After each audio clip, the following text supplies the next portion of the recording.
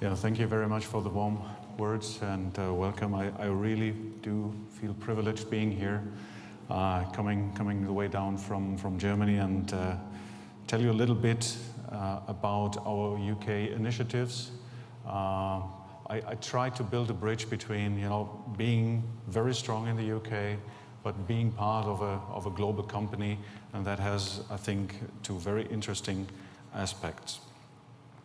Uh, I'm going to I'm to show you a couple of slides because I really feel um, that I need to talk a little bit about our competencies uh, and then really point out what makes what makes supply chain so important in these days.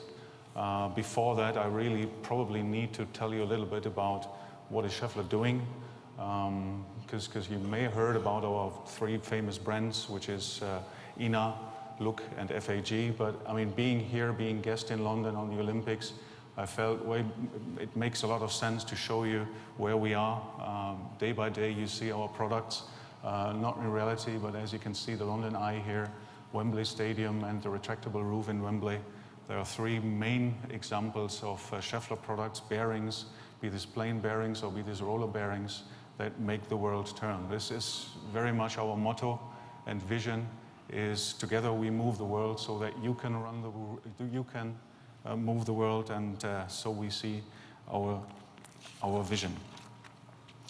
Going further, uh, as you can see here, uh, Schaeffler provides bearings from the smallest size of one millimeter in diameter. Uh, anyone who has experienced dental drilling knows what I'm talking about. Up to four meters in diameter, going into various applications, as you can see here. And uh, it is just interesting to see that most of our customers have already made presentations. I'm going to meet them later on anyway, but as you can see here, from various different industries, uh, including wind turbines, uh, we supply our products. This is the industry side of our business, uh, but another huge pillar on our business is the automotive section.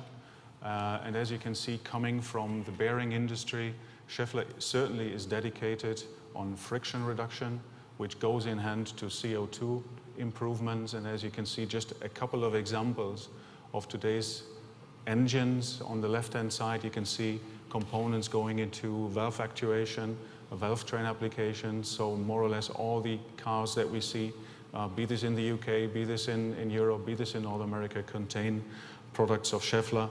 And going further to the right-hand side under the brand name of LuK, we see double clutches, uh, dual mass flywheels, etc., and followed by our FAG brand.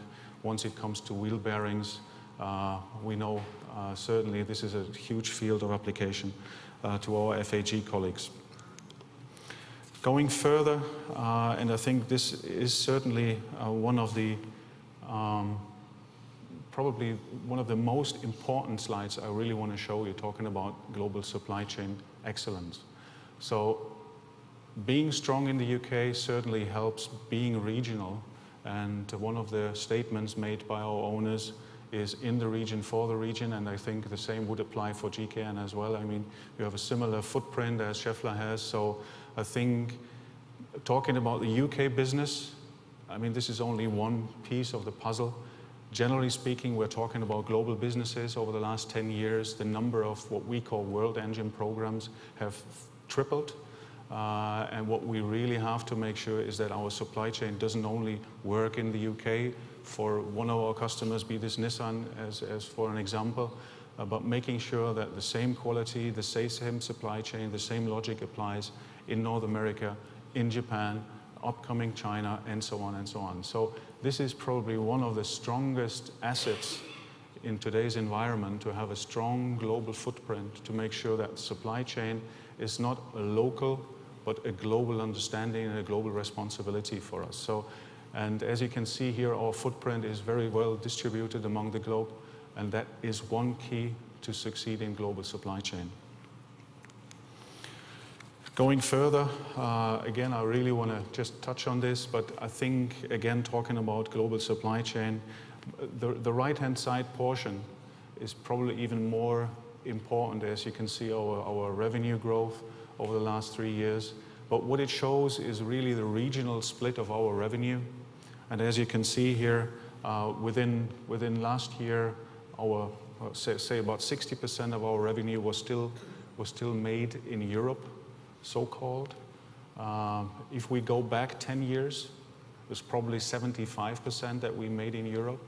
And just from our long-term planning going into 2020-ish, uh, it will be less than 50. So that explains the needs of a global supply chain, making sure that our products will succeed in the growth uh, markets, and particularly we're talking about Asia Pacific. But again, leading over then to our UK facilities, as you can see them here, I'm not naming all of them, but uh, starting at least with our uh, facility, Llanelli. I'm, I'm, not, I'm not supposed to talk this in, in Welsh because my Welsh is not really working well.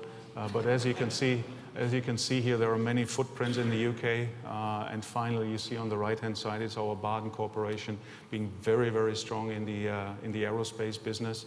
But generally speaking, we do supply a lot of automotive and industry parts amongst the UK. And just one example I really want to tell you uh, before I then end my presentation, really is our facility in Wales. Uh, over the last three years, we've invested between three to four million euros of investment, making sure this, lead, this plant is going to be a lead plant for our tappet business, uh, going into the valve train applications of more or less all uh, automotive applications. And as you can see on the right-hand side, we are still very successful since we've introduced these investments.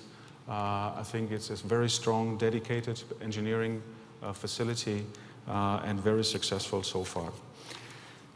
And again, here, I don't really go through this in detail, but uh, I, was very, I was very positively surprised to listen to this morning what the dedication of your politicians here in the UK is. And again, uh, with my beginning statements, we're talking about global businesses. If you want in the UK to be successful, make sure the environment in the UK is, is attractive, is interesting for global companies that needs to have a regional footprint in all the main uh, markets. And UK, obviously, within Europe, we heard this many times, is one of the main and important markets for the automotive industry, and we need to make sure the boundaries are well understood and applied for global companies such as Chevrolet. And last but not least, again, surprised to hear, uh, yeah, how can, can we as a company uh, connect us to the upcoming generation. I mean, I'm talking about my kids already, and they're certainly not interested in engineering, that I can, I can promise. But how to attract our business to pupils, to students, we obviously we're taking part in various programs. As you can see here, See Inside Manufacturing, very successful over the last two years, 50, 60 people came into our facilities and really get their hands on our products, get their hand about on our production. And I think this is key and essential uh, that the industry and the politicians go hand in hand and make the UK uh, an attractive place for engineering and for production. Thank you very much.